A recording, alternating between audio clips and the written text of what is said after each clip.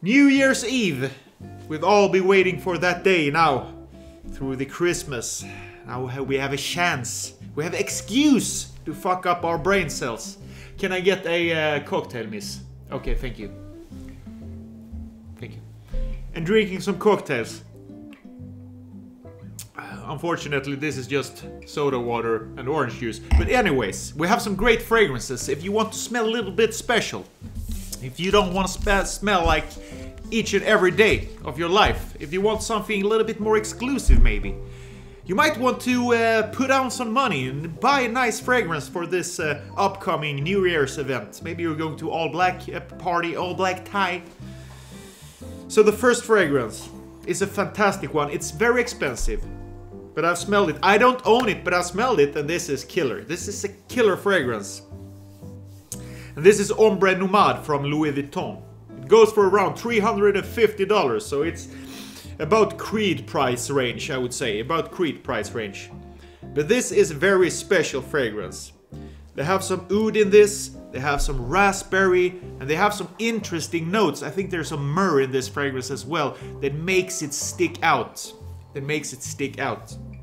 Smelled it on a friend, tried it for myself on my wrist, loved it throughout the whole day, but I'm too cheap to buy the bottle because I think it's still too expensive, expensive for me right now. But if I didn't have a problem at all with money and I could just throw money around me, I would buy this to have in special occasions. It's not a all-day type of cologne or fragrance, but that's why it's in this list, of course.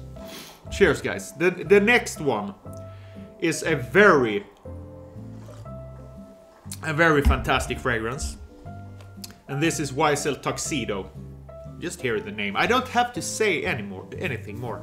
Fantastic, upscale, elegant fragrance. One of the more elegant fragrances that I've tried. I have the Moustache in a bigger sample right now. The Tuxedo is on its way to me in a full presentation.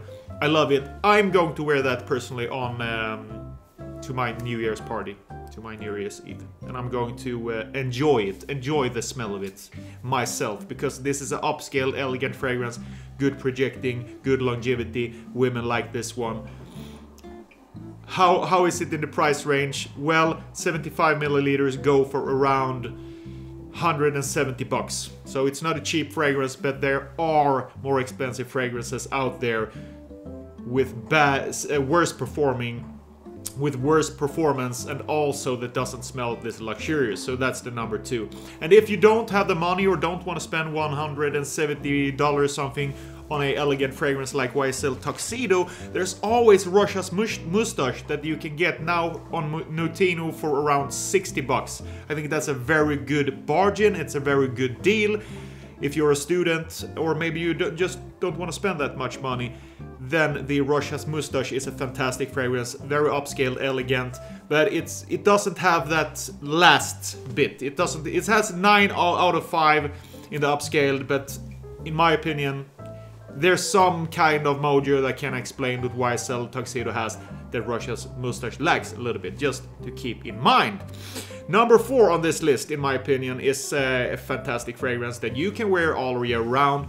But if you have it and you don't want to spend more money on fragrances, you can wear this. This is uh, fantastic. I can't stop smelling this, and this is Dior Homme 2020. Also a very, yeah, it's very classic fragrance. What, what can I say? One of my favorites. Dior Homme 2020. Just wear it. The girls will love you for it. Very mature fragrance if you are a uh, older guy. If you're a young guy, then uh, maybe choose something else. Next one I would go for is Tom Ford Oud Wood. Oh, my battery is about to die, but we keep going. Oud Wood, Tom Ford, very special fragrance, smells nothing like the others that I mentioned. Very highly pro projecting fragrance, Oud Wood, for the masculine man that wants to stick out and go in and take a room. This is something that I personally wouldn't wear, but if you are a guy who uh, you're very outgoing and you want people to notice you when you enter a room, especially New Year's Eve, maybe try this one. Very highly projecting fragrance. Next one is of course Creed Aventus. Have to mention this one because it's an elegant fragrance. People use it sometimes only in special occasions, so why not wear it in a special occasion as New Year's Eve? And if you don't want to spend that money but you want a good substitute to Creed Aventus, go for Al Haramain's L'Aventure Intense instead, because this is equally as good, especially in the dry down when the alcohol is drying down a bit and evaporated from your skin. Fantastic one. What do we have here? Okay, um, the battery's gonna die, so of course I don't charge my uh, camera. Next one, very weird fragrance, but interesting. Byredo Velvet Haze. Velvet Haze. It smells, they say it's going to smell like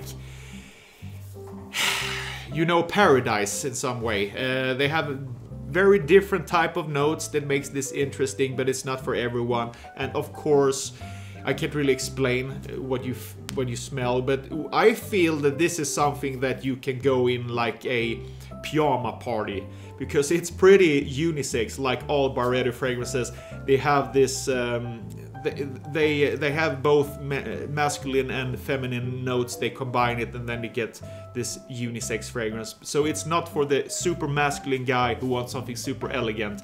This is something you can buy with your girlfriend and you can both wear it if you want if you are a little bit uh, like unisex type of a person and you don't want to have masculine fragrances and feminine fragrances. This is something interesting that you can buy if you want something.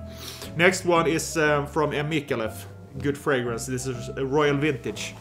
Also upscaled version, better version of Creed Aventus in my opinion.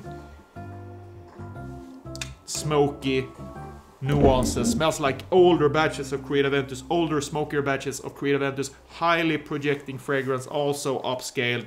But that's all. That's what we're talking about today because it's an upscaled event.